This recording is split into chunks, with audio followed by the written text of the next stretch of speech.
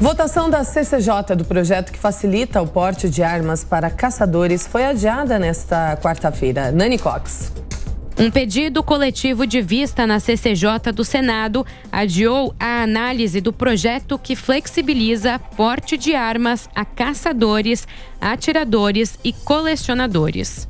A matéria, que passou pela Câmara em 2019, é de autoria do governo e altera o Estatuto do Desarmamento.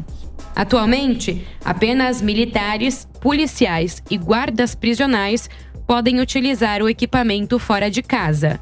A posse, ao contrário, autoriza que a arma seja mantida em ambientes fechados, como residências. Já o projeto de lei passa a garantir o porte aos CACs, caçadores, atiradores e colecionadores registrados no Exército.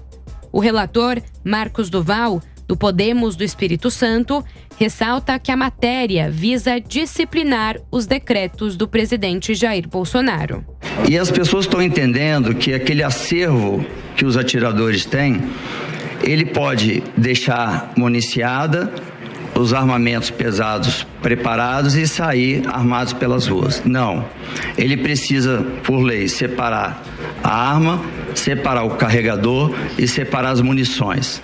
E pode somente portar uma arma curta de calibre permitido. Hoje, o decreto permite no mínimo 60 armas que um CAC pode ter.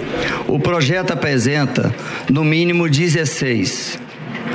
Então, se a gente permanece com os decretos, vai estar valendo ainda as pessoas comprarem no mínimo 60 armas.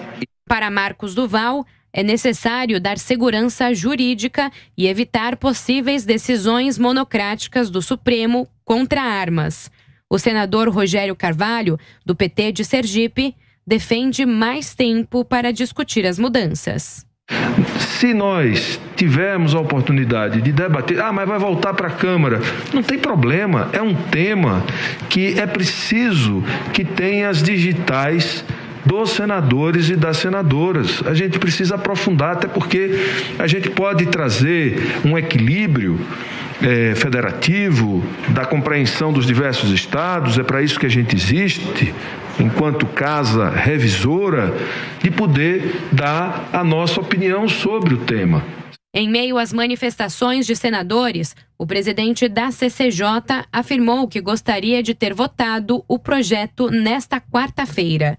Davi Alcolumbre reitera que, apesar dos acordos, avisou que cumpriria o pedido de vista coletivo. Eu não tenho como impedir a regra regimental do pedido de vista.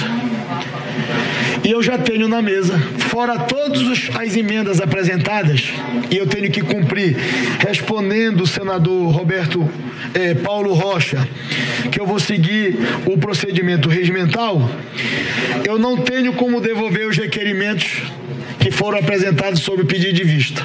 Davi Alcolumbre acha possível voltar a analisar o projeto ainda nesse ano na Comissão de Constituição e Justiça.